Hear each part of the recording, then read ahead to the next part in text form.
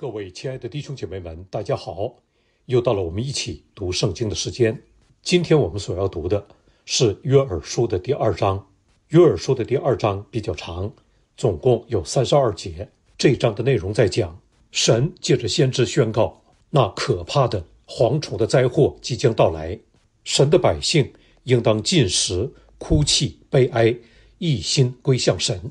我们来把今天的经文分一下段落。我们将它分成四段，第一段是一节到十一节，那即将要来的可怕的蝗灾；第二段是十二节到十七节，百姓当进食、哭泣、悲哀，一心归向神；第三段是十八节到二十七节，神的百姓若是真心的悔改，神就必再赐福神子民所居住的土地；第四段是二十八节到三十二节。到了末后的日子，神的灵要浇灌凡有血气的，那敬畏并求告主名的人就必得救。由于第二章的经文比较长，我们就把这一章分成两天来读。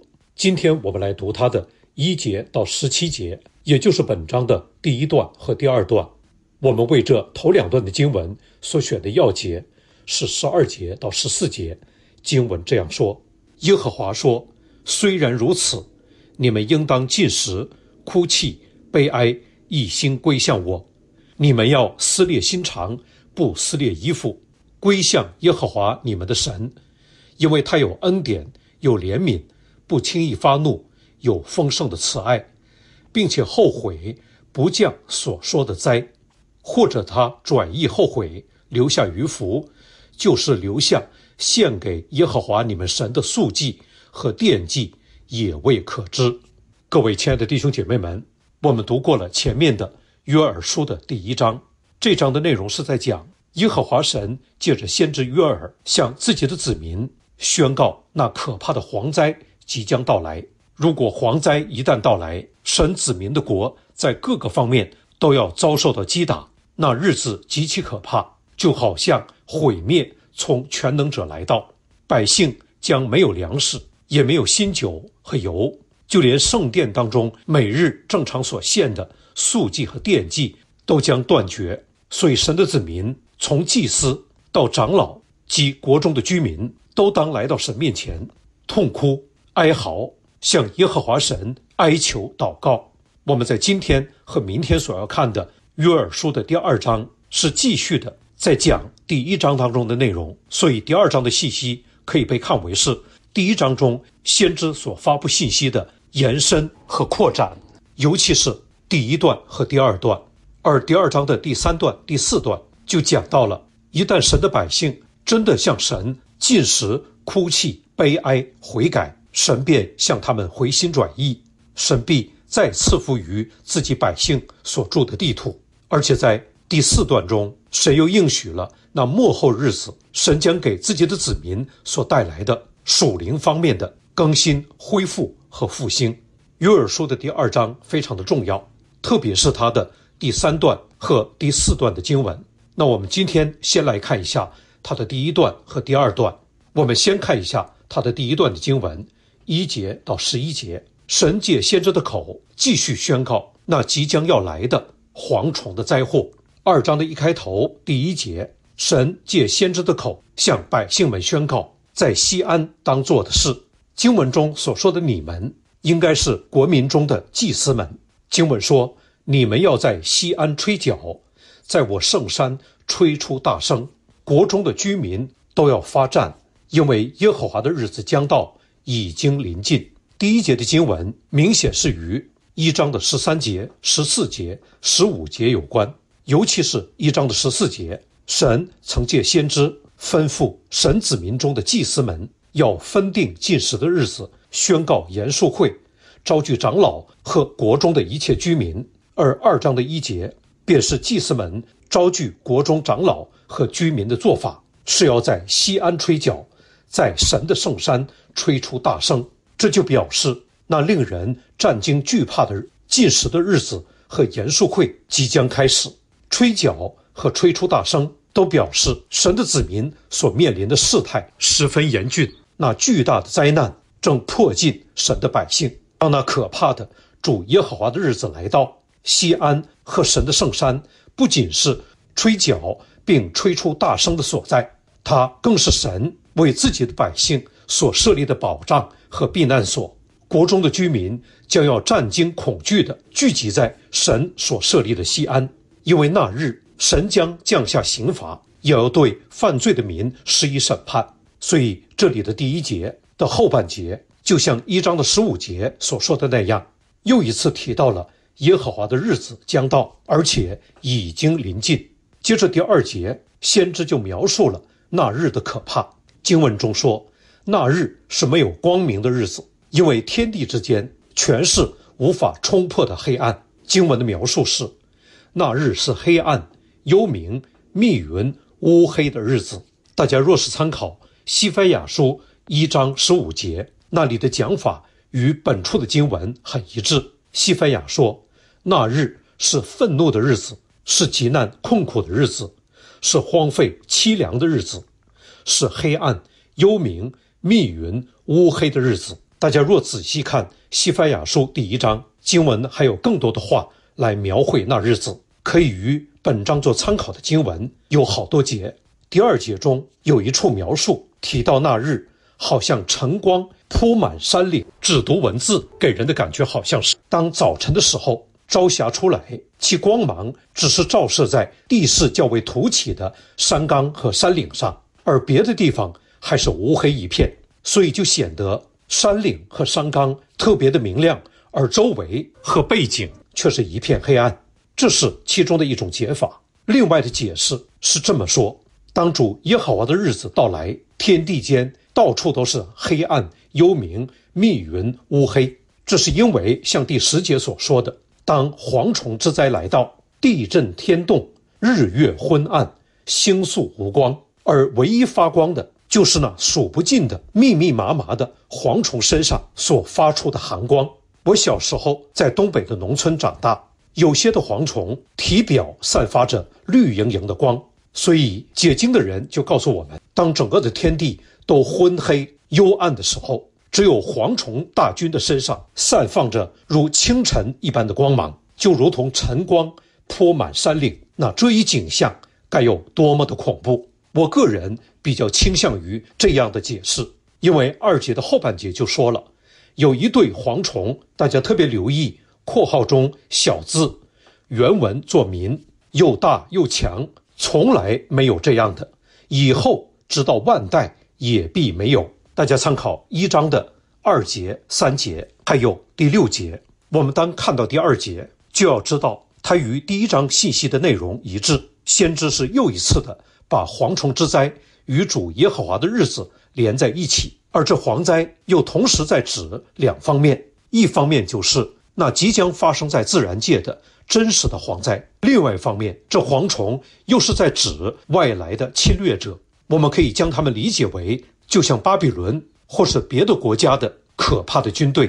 神界先知警告当时的国民，这蝗虫之灾或是由仇敌所带来的侵略。其力量和气势的强大，乃是以往没有过的，后来也不会再有的。有人提醒我们，主耶稣也曾经这样讲过大灾难的情形。当大灾难发生的时候，他也是后来也必没有的。大家可以参考马太福音二十四章第二十一节、第三节的经文，可以被看为是对一章的十五节和一章的十九节的具体的解释，因为在一章十五节。先知曾说：“耶和华的日子来到，好像毁灭从全能者来到。”一章十九节又讲：“当耶和华的日子来到的时候，火烧灭旷野的草场，火焰烧尽田野的树木。”所以二章的三节就具体解释了那从全能者来到的毁灭有何等可怕的程度。而这毁灭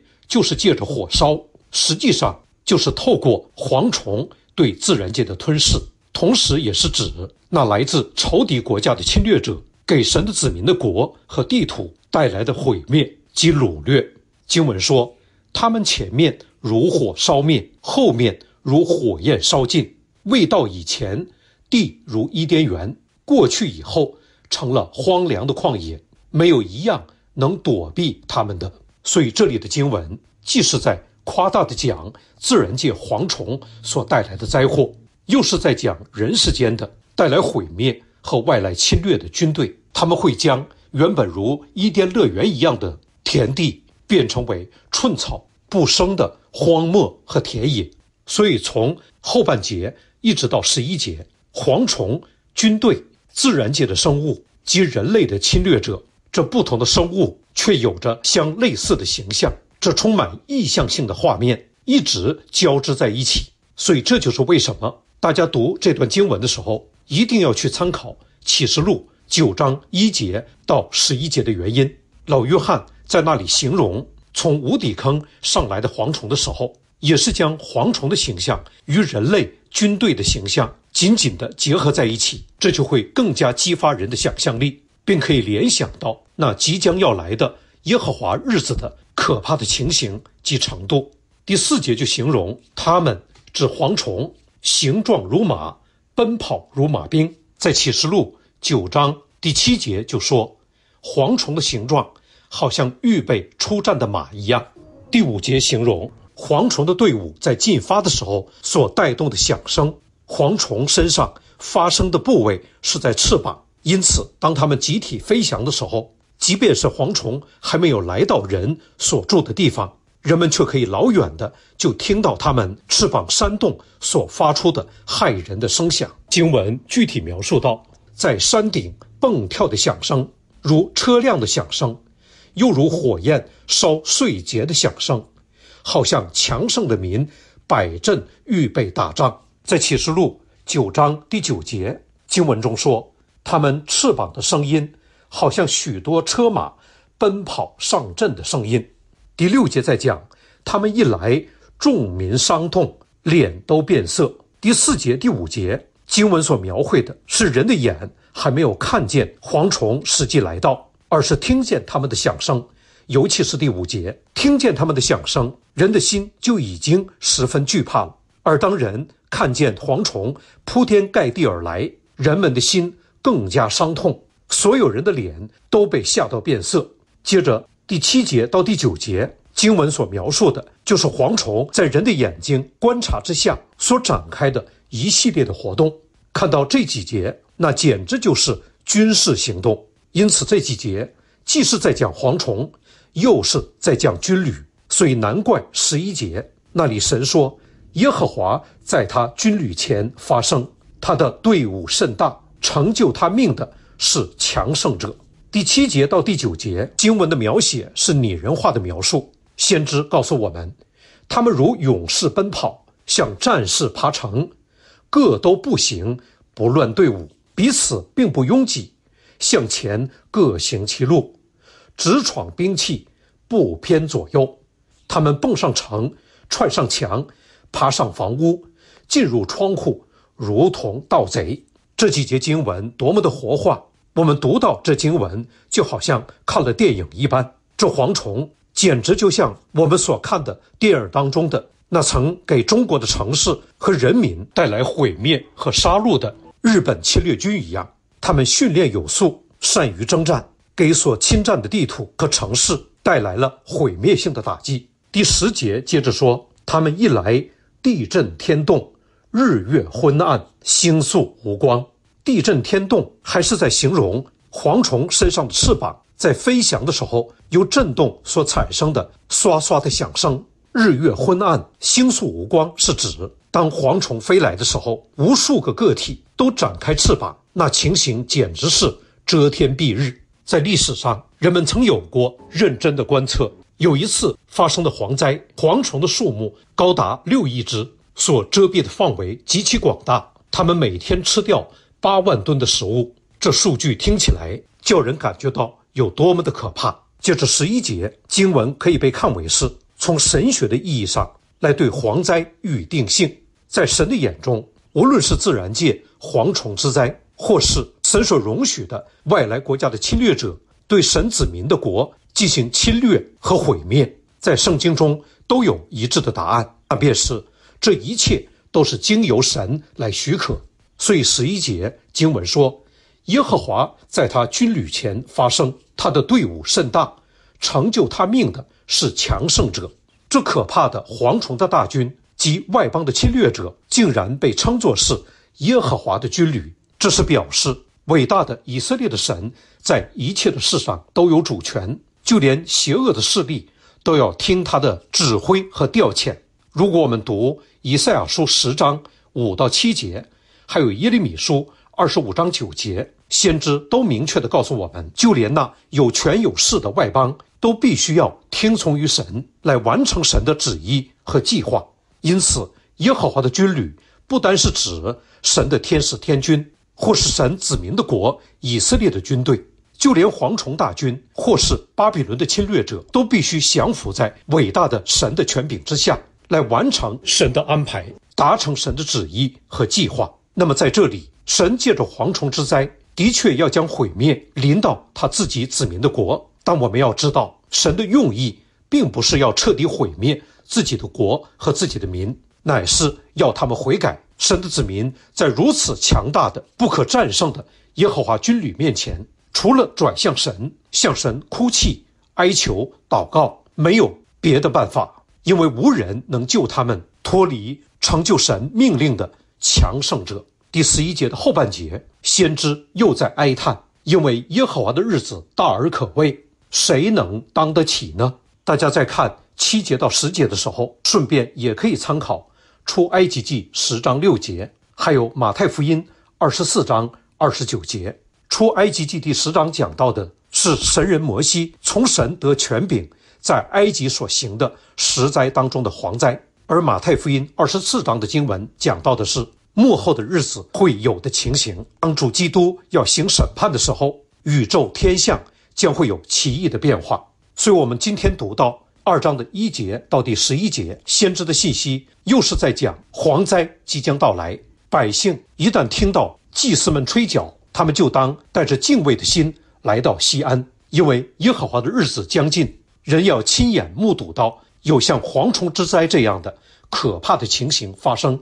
这日子。大而可畏，百姓们将会知道一个事实：耶和华的日子，无人能当得起。大家仔细看先知对蝗虫大军到来的时候的细节描述，同时必须要知道，这里的蝗虫也是在指外来侵略者。而大家尤其要把这段的经文与启示录第九章的一节到十一节参照的来读，就会更加明白神界先知所宣讲的这重要信息背后的意义。那接着我们来看第二段，十二节到十七节这段的内容讲的是，由于有那么可怕的大蝗灾即将到来，所以神就呼吁自己的子民应当进食、哭泣、悲哀，一心归向神。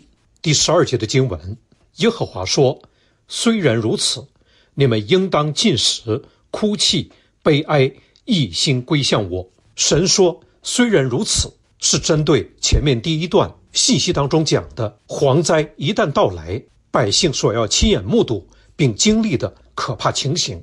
神说，虽然如此，就意味着他还为自己的百姓留下了可以悔改的机会。神把一个郑重的抉择放在他们眼前，乃是告诫他们应当进食、哭泣、悲哀，一心归向神。很明显的，神在这里所讲的话，正是。一章十四节和二章一节，他借先知宣告话语的目的，神要自己的百姓来到他面前进食，真诚的哭泣，并表现出真实的悲哀的情感来。而做这一切，都是要显示百姓已经一心归向耶和华神。因为假如神的百姓不归向神，那他们在耶和华大而可畏的日子，谁能当得起呢？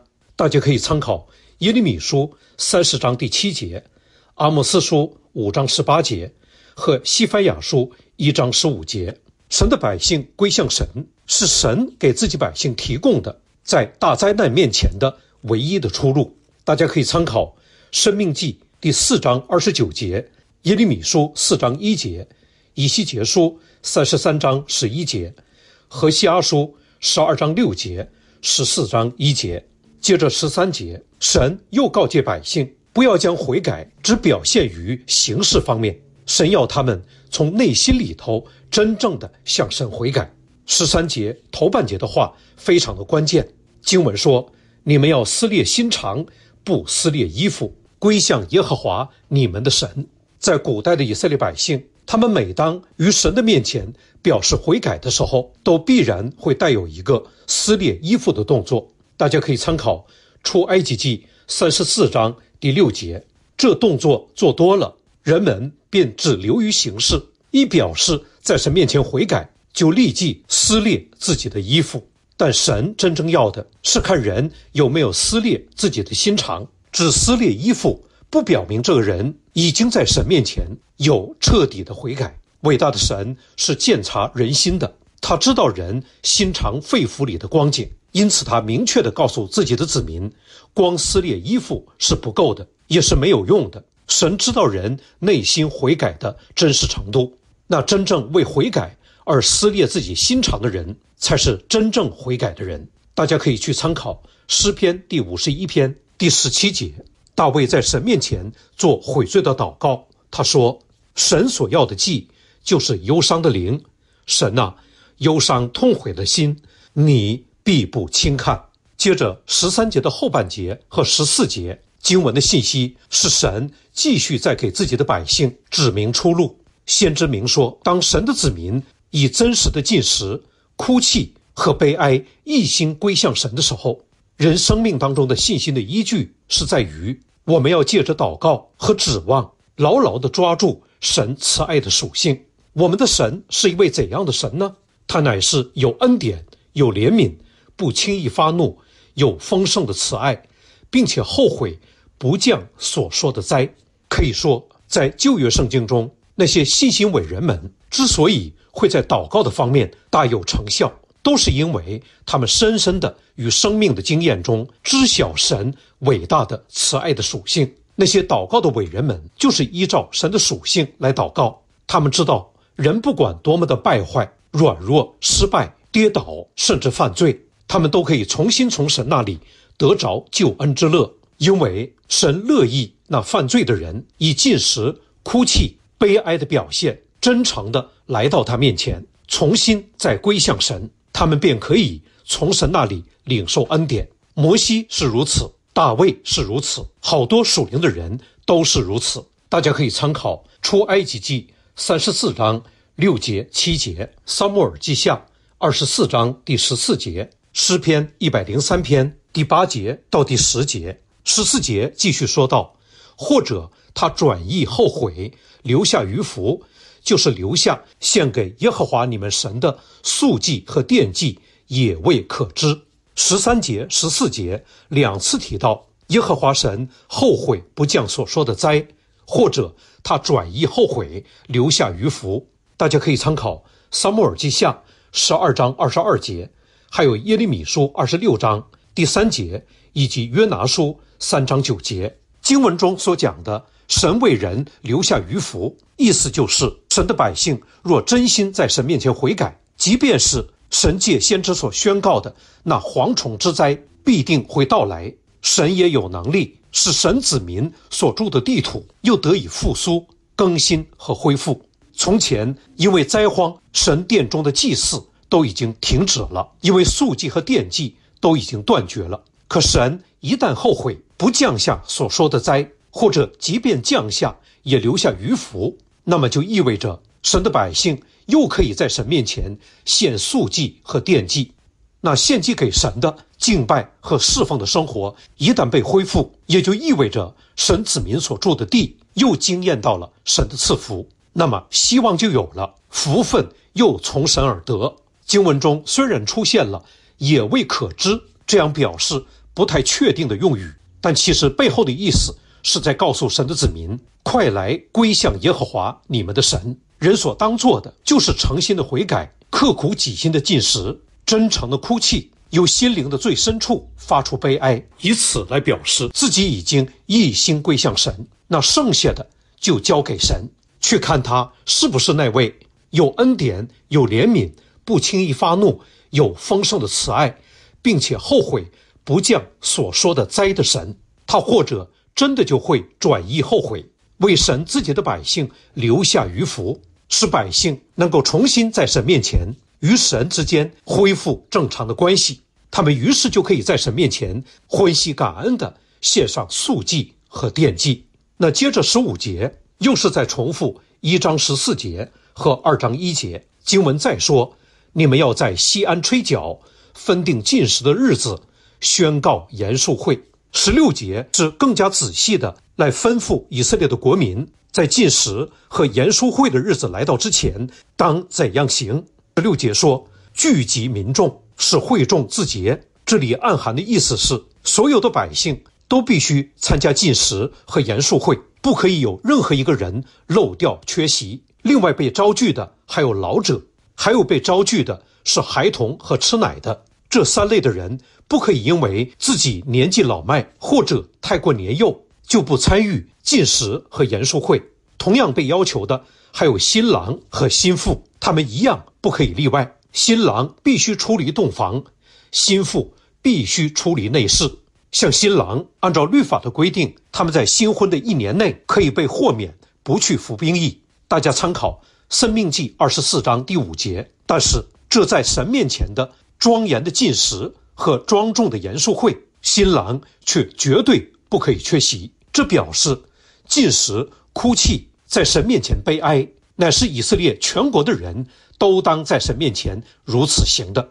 十七节，神便吩咐侍奉耶和华的祭司当怎样做。他们被规定为要在廊子和祭坛中间哭泣。大家请参考一章的十三节、十四节。祭司们在神面前哭泣的时候，要说：“耶和华啊，求你顾惜你的百姓，不要使你的产业受羞辱。列邦管辖他们，为何容列国的人说他们的神在哪里呢？”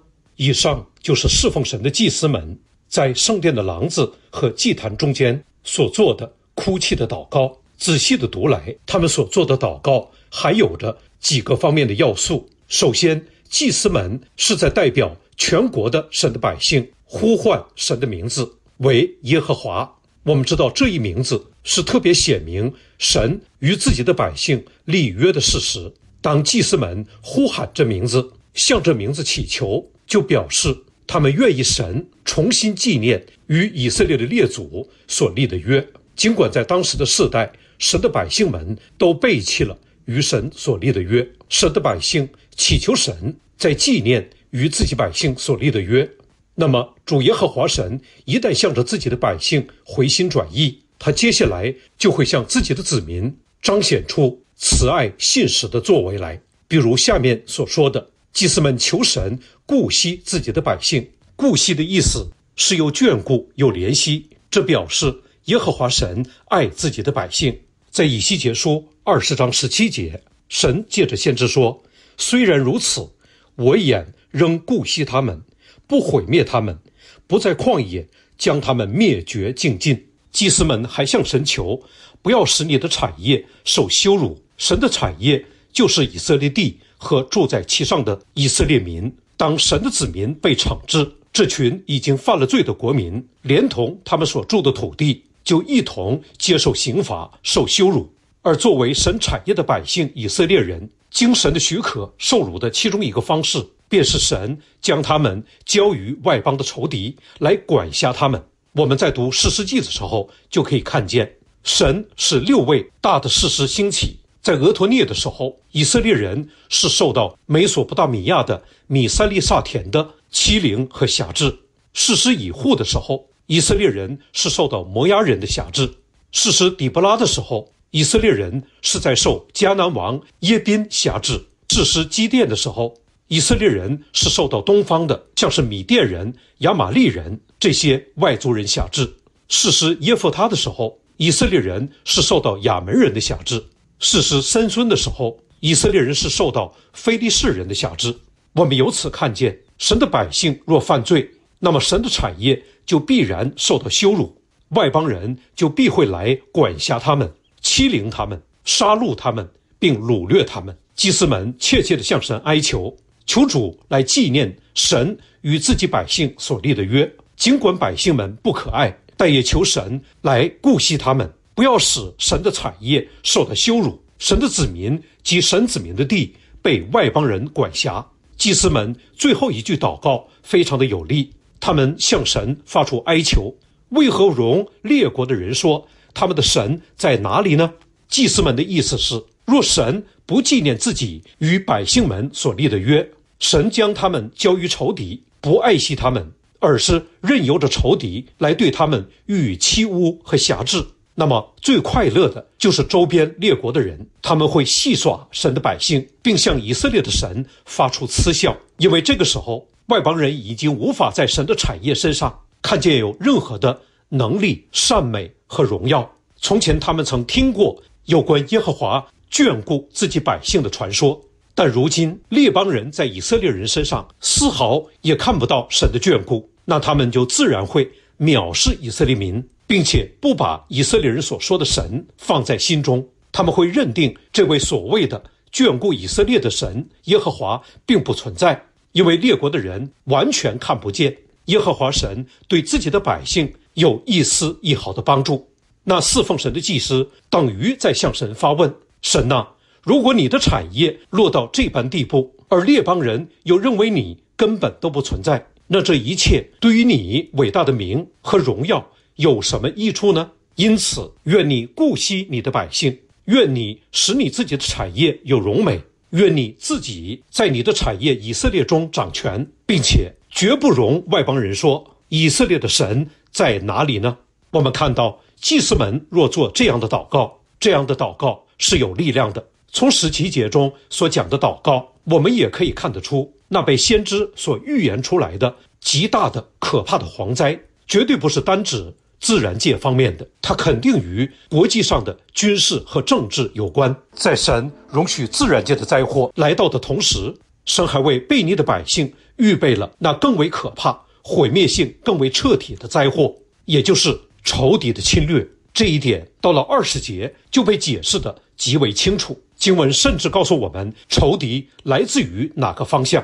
那这方面的信息我们就明天再讲。总之，看到第二段，我们就发现。它其实与第一章和第二章中第一段的内容有重复，因为都是讲到神呼吁祭司们带领全国在神的面前认罪祷告，分定禁食的日子，宣告严肃会即将举行。在面对大毁灭迫在眉睫之际，神还给以色列家留了出路，那便是他们必须要来到神的面前进食、哭泣、悲哀。只要他们一心归向神。他们就必从神那里再得到怜悯。由此，我们可以看见，神并没有完全撇弃自己的百姓，他仍然向他们存留慈爱和怜悯。正因为我们的神有如此善美的属性，他那善美的属性便成为了我们这些容易软弱、犯罪、跌倒、失败的百姓来到他面前恳求他在怜悯和施恩于我们的依据。因此，我们赞美我们神的名，他真是。没有推却他子民的祷告，也没有叫他的慈爱离开我们。